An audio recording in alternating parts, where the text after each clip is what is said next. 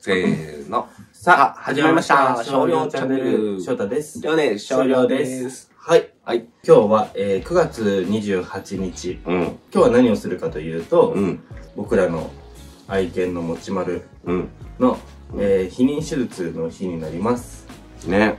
えーっと、もちまるはですね、もともと、まあ女の子で、うんで、今6ヶ月目そうね。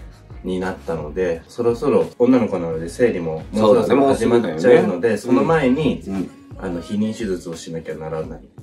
しなきゃならないってわけではないんだけど、した方がうんうん。今後の将来の、うんその、病気のリスクがぐんと下がるっていうことでね。うんうんうん。うん。なので、うん。密着していこうかなと思います。はい。はい。まあ、今回なんで、その持ち丸にね、避妊手術を受けさせようって決めたかっていうと、まず、その、将来的に、まあ、病気のリスクがね、あの、さっきも言ったけど、ぐんと下がるっていうのと、僕昔も同じね、シーズーを買ってたんだけど、その子は避妊手術してなくて、で、8歳、9歳くらいの時かな、結構もう、老犬になり始めてた時に、あの、子宮に病気しちゃって、結構ね、大変で、かわいそうだったんだよね。だから、その時もやっぱ早めに受けさせとけばよかったなっていうふうに思ってたんだけど、あの、結局受けさせてなくて、そういう病気になっちゃったから、ちょっとね、今回は、ま、早めに受けさせてあげたいなっていうことで、えー手術をね、お願いすることにしました。はい。うん。本当はね、手術とかね、しないなら、しなくていいんだったらね、しなく、させたくないっていうのも、翔ちゃんあったけどね。今回はそのように決めたので。うん頑張ってね。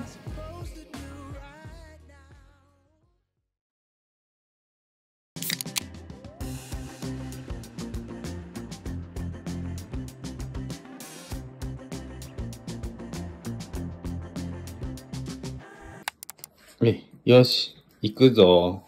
へへ。へへへへ。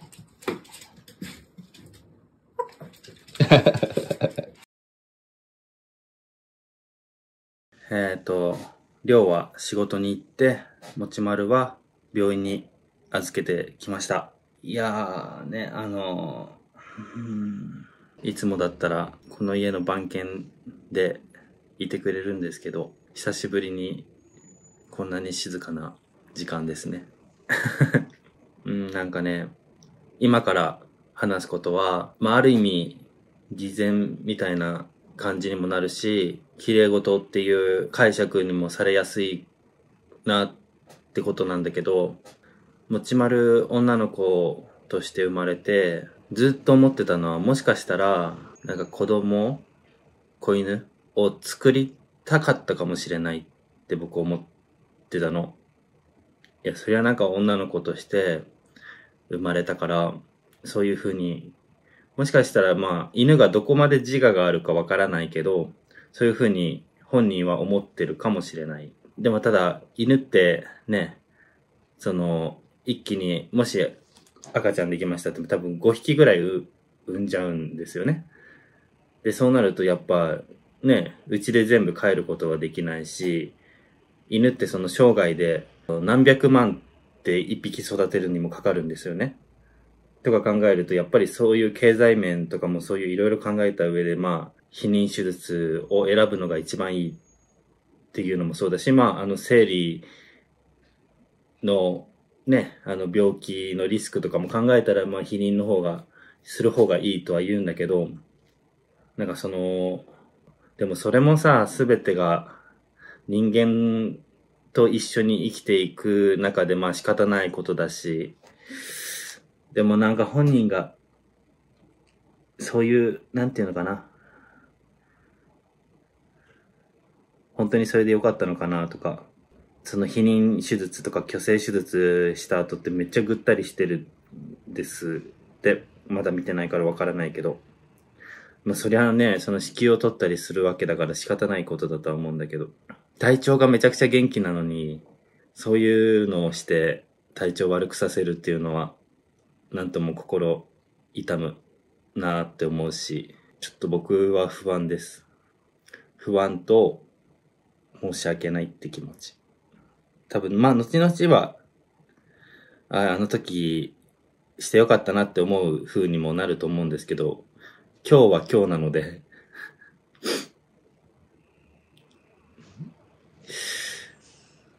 どうなんだろう。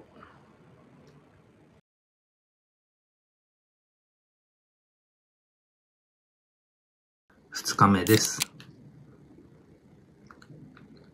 ちょっと、映すの申し訳ないんだけど、いつもだったらこの、めちゃくちゃはしゃいでるもち丸が、なんかぐったりしてます。うん。頑張ったよね、もちまるね。はい。まあ、二日目ということで、相変わらずまだね、ちょっとぐったりはしてるんだけど、うんまあ、一週間くらいね、したら、エリザベスカラーも外していいよっていう風にね、先生から言われてるから、あ、それくらいになったら、傷口とかもだいぶ良くなってくるのかなっていう感じがします。うん。うん。まあでも第一良かったのは、ちゃんとね、無事に家に戻ってきてくれたのがそうだね、ね。一番嬉しいかな。で、まあご飯も全部食べたもんね。そうだね、ううん。ん。昨日の夜からね、もう手術の当日から夜ご飯は食べさせていいですよって言われて、おしっこもするし、うん。あ、まあうんちはね、うん。まだしてないけどね。まあ、あれだよね、なんか、多分犬、僕が犬を飼うのが初めてっていう話で、うん。まあ犬を飼ってる方からしたら、え、うん。そんなことで、ああれ？みたいな、なんか、そんな、もう、避妊手術とか虚勢手術はよくあることだよとかっていう話も多分あると思うんですけど、まあ僕自身が全てが初めてなので、うん。まあいろいろ 不安じゃないですか。まあそうだよね。うん。だからね、そう、僕は、まあ、そんな、うん、まあね、大したことないって思う方も多分中にはいると思うんですけど、うん。まあそのうち元気になるとも思ってはいるんですけど、そうね。まあうんすぐね、元気にはなると思うよ。うんうんうん若いし、あの、治りも早いだろうし、うん傷口のね。うん、で、なんかもう抜歯とかもせずに、もうそのまま溶けちゃう、ね、そう。糸なんだよね。最新っていうのかな？最新また病院に行くこと。診察、また最新だね。うんうん。最新もないので、うんうん。うん。必要ないって言われたんだもんうね。ん。あとは、まあ元気になるのを待つしかないかなってだけなので、うん。ん早くまたうん。一緒にお散歩ができるように。そうだね。うん。頑張ってうんほしいな。うん。おう。もちまる、ようやく座ってくれた。ね。うん。いやー、もちまる。少し元気が出てきたかな。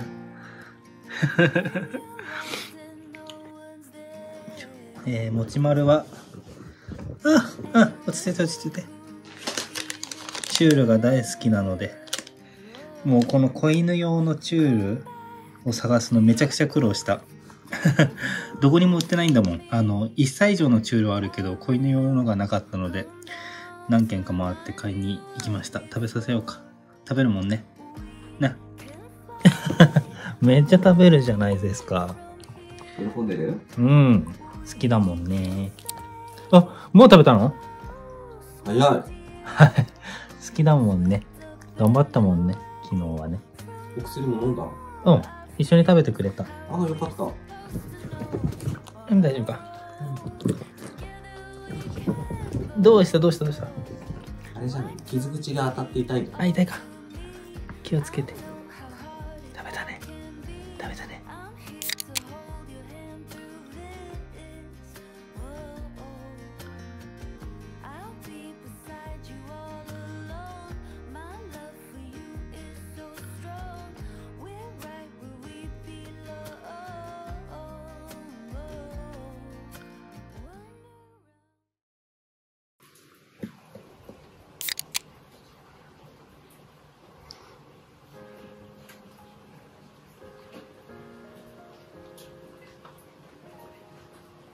はい。というわけで、うん。あれから一週間1週間が経過しました。。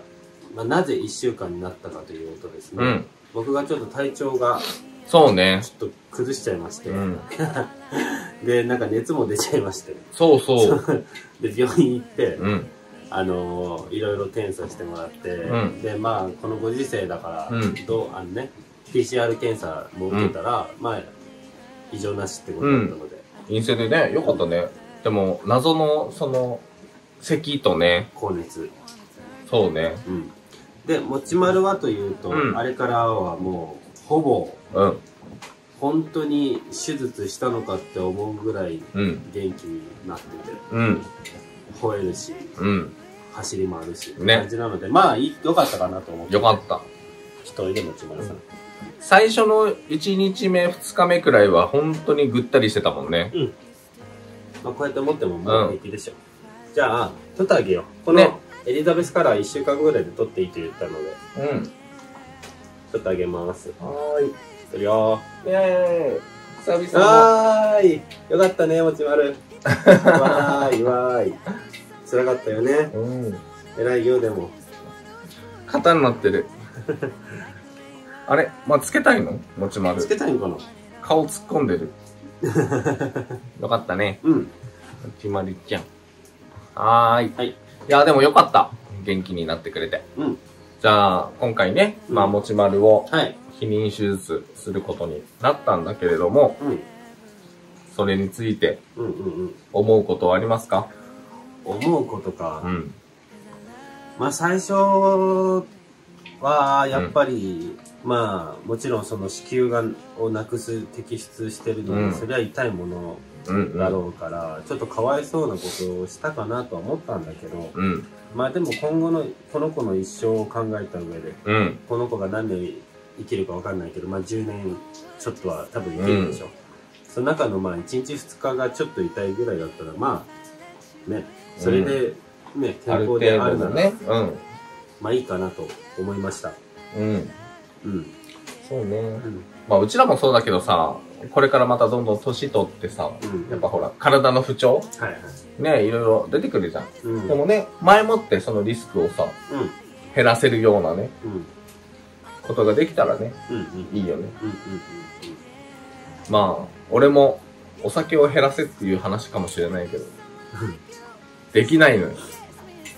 なんでえー、なんかもう飲むのが楽しいから。だって翔ちゃんと飲むの楽しいもん。これ翔ちゃん、翔ちゃんの首輪にしたら入らないよ、俺。入らない。入らんよ。というわけで、今回の動画はここまでにしたいと思います。はいえー気に入っていただければチャンネル登録と高評価のボタンをお願いします。インスタ、ツイッター、TikTok もお願いしお願いしまます。では、次のビデオでまたお会いしましょう。